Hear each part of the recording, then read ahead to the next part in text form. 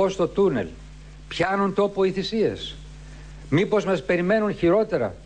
Νέα μέτρα από την Ευρωπαϊκή Ένωση. Θα φύγουμε από το ευρώ. Θα κηρύξουμε πτώχευση. Υπάρχει ελπίδα. Ποιο το σχέδιο, πότε η ανάπτυξη. Θα πληρώσουν κάποιοι τα κλεμμένα. Τι γίνεται με τη δικαιοσύνη; Γιατί δεν αλλάζει πιο γρήγορα η Ελλάδα. Είναι θέμα συντονισμού. Θα πάμε σε εκλογές. Φίλες και φίλοι, ξέραμε όταν ξεκινήσαμε ότι ο δρόμος θα είναι δύσκολος. Ότι οι αλλαγές που θα κάναμε έπρεπε να γίνουν εδώ και δεκαετίες.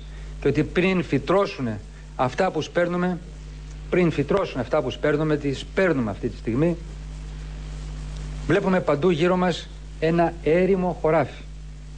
Μια μεγάλη έρημο γεμάτη ανασφάλεια. Η υποβάθμιση της ελληνικής οικονομίας δεν θα μας σταματήσει. Η καπιταλιστική συνωμοσία δεν θα μας λυγίσει. Κανείς δεν μπορεί να τα βάλει με το λαοπρόβλητο ηγέτη της σοσιαλιστικής διεθνούς.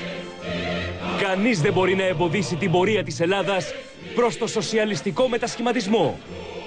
Πασόκ. Ο καπιταλισμός επιτίθεται. Ο σοσιαλισμός θα νικήσει.